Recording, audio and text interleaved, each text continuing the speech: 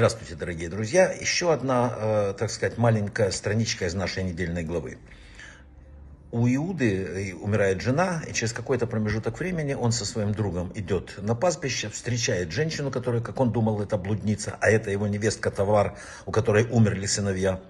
И э, после этого он ее не находит, они больше, он не понимает, кто это. Ему говорят, что невестка Тамар э, нарушила закон. Он предлагает ее и говорит, что ее надо вывести и сжечь. И когда она шла э, на костер, она передала ему его вещи, которые он ей оставил в залог, как бы давая ему возможность принять решение. И э, руками Тамар небо подвергло Иуду такому испытанию – ведь передавая ему улики, она фактически отдает свою жизнь в его руки. Если он захочет избежать позора, ему достаточно просто воздержаться, не вмешиваться, стоять в стороне. Нет человека, нет проблемы. После сожжения Тамар у него больше нет вообще, все, история канет в небытие. Но Иуда решает по-другому. Именно тут проявляется вот то высочайшее качество, которое потом дало возможность его потомкам стать царями. А нам всем называться потомками Иуды это умение признать свои ошибки и преступления, принять на себя ответственность за последствия своих личных шагов. Вот это то, что надо человеку от тех времен и по сегодняшний день. Вот тогда он становится человеком. Потому что Иуда, когда сказал вот эту знаменитую фразу «она права, а я не прав», все, с этой минуты он потенциально стал царем. И, естественно, посмотрите, что произошло дальше. Иуда признает свою ответственность с Тамар, берет на себя всю ответственность, и в положенный срок появляются близнецы Перец и Зерах. И первый из них это предок царя Давида. Такова сила нашего выбора. Бог не создавал в этом мире театр марионеток. Мы это должны понять. Вот все, он там, он, да, да, Бог всемогущ, но он дал нам огромные возможности. Он создал уникальный мир, в котором мы сами выбираем завтрашний день и сами определяем свою судьбу. Да, это связано с нашими прошлыми какими-то воплощениями, какие-то кармические вещи, все понятно. Это есть. Но это такой смешанный процесс. Но мы не можем просчитать ничего, но это не уменьшает. Не уменьшает силы нашего влияния на этот мир. Иуда стал тем, кем он стал, только потому, что сделал правильный выбор. Он стал царем Израиля. Мир для нас загадка. Мы не понимаем причины и следствия.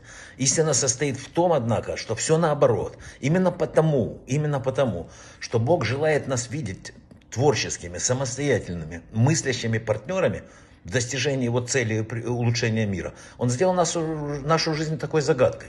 Если бы мы всегда знали истинную значимость каждого поступка, каждого действия, то это все было механическим, безжизненным. Произносили отрепетированную фразу, вот это влияет на это, как строчки в спектакле. Вот только потому, только потому, что каждый из наших поступков, каждое наше решение является ну, очень а, серьезно влияющим на весь мир и тянется в какую-то темноту неизвестного будущего и прошлого, наш выбор становится уникальным, является нашим. Наши решения действительно представляют собой выражение нашей личной воли, и каждый наш поступок вносит значимый вклад совместное с Богом творение мира. Представляете, какие мы... Нет человека, который должен сказать, а кто я такой? Кто? Ты, ты, и есть, ты и есть вот это столб мира. Надо верить в свою сопричастность к улучшению мира или, не дай Бог, наоборот. Вообще надо верить и работать над собой, над окружающим миром, над своей семьей, над друзьями. Работать немножко, нельзя сидеть просто спать. Посмотри на мир, который дал нам Бог. Чего не достает в нем? Почему люди боятся войны? Почему так тяжело материальное состояние? На первый вопрос нам можно ответить, что боятся нападения со стороны каких-то врагов. А что ответить на второй вопрос? Смотрите, везде урожай, там достаточное количество пищи. В Канаде излишки урожая сбрасывают в море. Почему?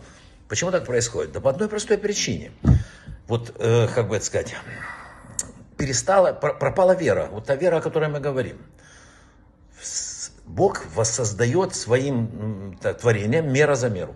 Поскольку они утратили веру в Него, Он отнял их веру в людей. Люди не доверяют друг другу, государству, своим соседям. И, а любое, все основывается на доверии. Ухудшается торговля, ухудшается все. Если нет доверия, и политики не верят никому, все, значит, вот тогда кругом войны. Вот и все. Недостаток веры – источник всякого зла. Это корень любой болезни, поразившей человечество. А какое лекарство от этого? Надо всегда про лекарство сказать. Оно простое. Все должны сделать наоборот. Очень простое решение. Вернуться оттуда, откуда ушли, к Отцу вот на, на небе. Да? вернуться к Богу, понять, что Он давал нам а, на самые правильные истины. Это оно вернет нам веру в людей, восстановит взаимное доверие между людьми, между народами.